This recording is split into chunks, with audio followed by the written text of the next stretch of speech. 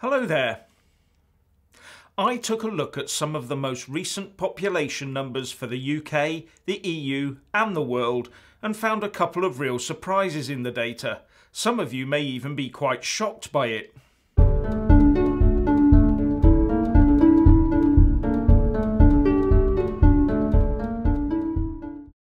I started this little journey when I saw the latest UK population data from the Office for National Statistics. This showed that despite a growing population that now stands at over 66.4 million, the UK had the lowest birth rate in the year to mid 2018 since 2006, when the population number was nearly 6 million lower than it is today and it also said that for the fifth year in a row, net migration at 275,000 was a bigger driver of population change than the natural change of births compared to deaths at 121,000. The ONS went on to say that UK population growth has been stable over the last two years because increasing net immigration has compensated for the decreasing natural change of births over deaths. But if you look at this graph of UK population growth, you can see that in the last 20 years there have only been two years in 2012 and 2013 when natural change exceeded the effects of net migration and that it has been a long time since the natural change of births over deaths was the main driver of UK population growth. Up until 1999, births over deaths, shown in green, was the main component to population growth, but since then it has been net migration, shown in blue, with the overall effect increasing up until the last two years, and even then it's only fallen back to 2004 levels. But population numbers going up and birth rates falling raised some questions, so I followed the link to the summary data tables to look at the UK total fertility rate, or TFR.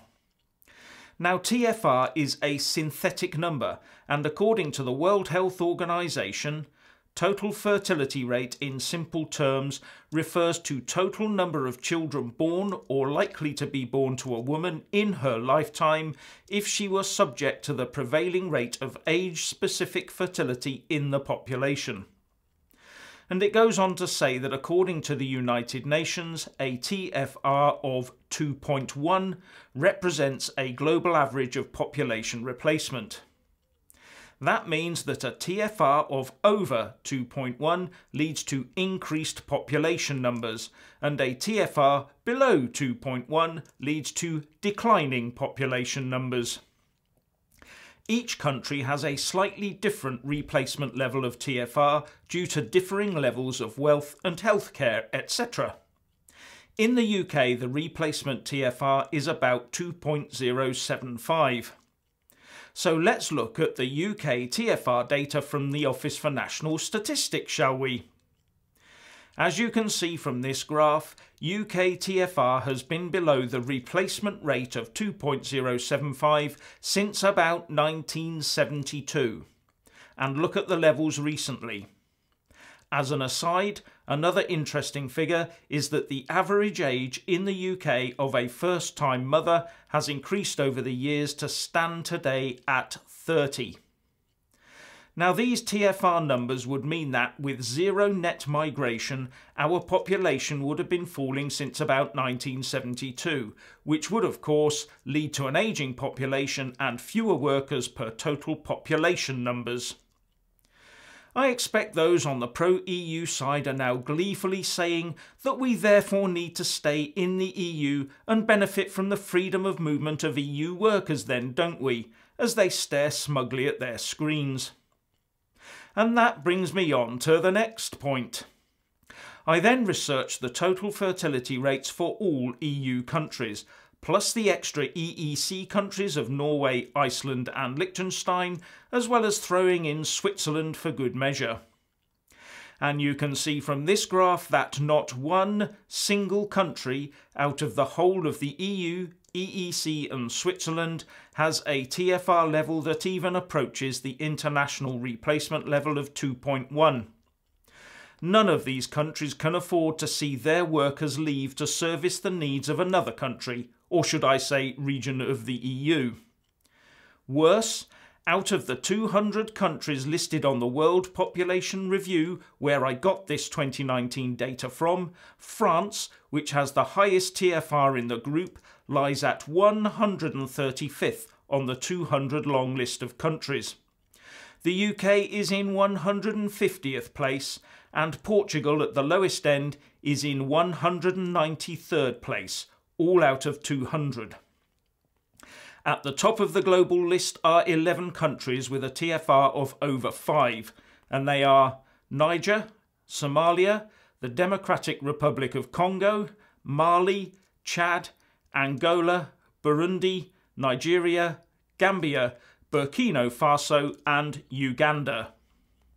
Another source that gives this sort of data is the CIA World Factbook, and that lists estimated data from 2017. The upshot is that EU freedom of workers just means companies and public services across the whole EU will be chasing an ever reducing pool of available workers, having to increase their wages but also tax them more to pay for the ageing population. And you also have to look at increasing the working age and or decreasing benefits and pensions for the elderly. Does any of this sound familiar to you? unless you bridge that gap.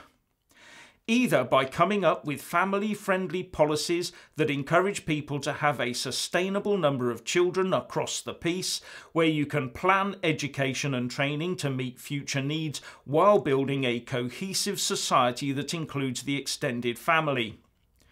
Or by getting as many people in the country onto the factory floor and foregoing family life, while encouraging mass immigration into the EU and hope you fill the gaps along the way. One route takes forethought, planning, work, and a determination to see it through over decades. The other route is quick and easy, but fraught with risk. Now, Brussels, Westminster, as well as all the other governments and policymakers around the world are fully aware of this situation. So I'll leave you to figure out which route the EU and UK establishments are both intent on taking. But the real question is why? For me, the UK needs to leave the EU, then embark on the former route to forge a post Brexit UK. Those on the pro EU side might like to think of it as a great achievement. But if it cannot sustain an indigenous population, it has failed. And isn't a stable family structure within society the biggest indicator of a proper human existence? And for those thinking that the global population is growing out of control, so we must sacrifice our futures to stabilise it, I have news for you. The rate of increase is now about 1% and falling and tending towards zero. Some commentators say it may well turn negative in the next few decades, leading to a falling global population. Look it up for yourself. Anyway, what do you think? Please share and comment and thank you for watching. Please do like and share this video and also subscribe to my channel. And when subscribing, please do remember to press on the little bell next to the subscribe button. That way you'll get an alert every single time I put up a new video. Thank you very much for watching.